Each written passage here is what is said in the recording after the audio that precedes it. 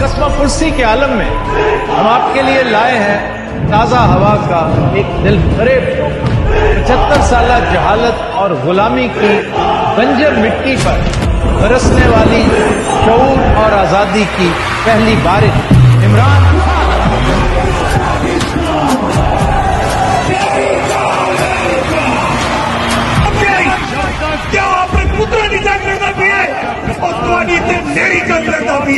भी Never has one man scared the establishment, political parties as much as it is right now. You look at television, there is only one man which is featuring.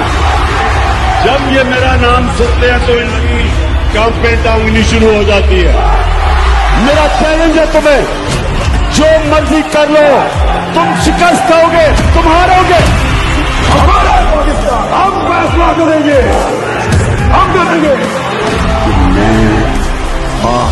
सांस तक इस जुल्म के निज़ाम का मुकाबला करेंगे गुलाम कौम का कोई मुस्तकबिल नहीं है। और आज़ादी कोई प्लेट में रख के नहीं देता। आज़ादी के लिए लड़ना पड़ता है। जंजीरें। इमरान खान को खुदा अल्लाह काफ़ी है। लारा रूबी ने कहा जब एक कौम अच्छे और बुरे की तमीज खत्म करती है कौम मर जाती है।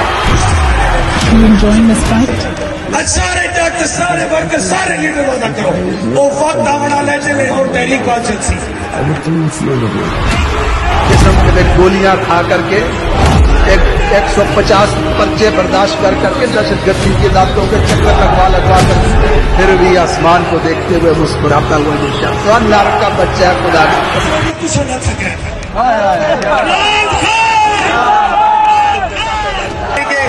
काश हमारे वोट से से को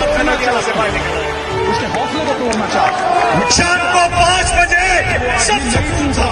लोगों ने सोचा शायद लोग डर गए होंगे। शेर के कैंपों से पर्ची बनवा रहे हैं। शाम को शेर निकलेगा। लेकिन खुदा का करना यह था कि जब डब्बे खुले तो हर पर्ची में से खान निकल आया। अल्लाह तेरी इबादत करते और अल्लाह सिर्फ़ तेरे समझ शहर नहीं आई।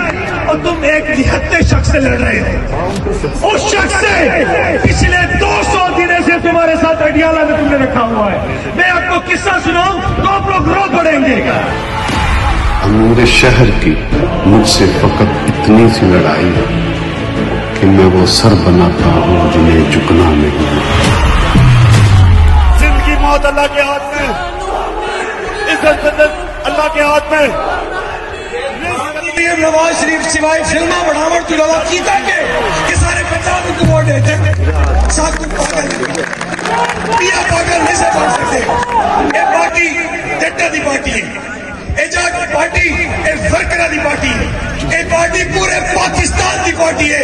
ते जेड़ा बंदा है सोचे भी है, कि तुसा रहे सो याद रखा कि सब पाकिस्तान को खत्म कर हैं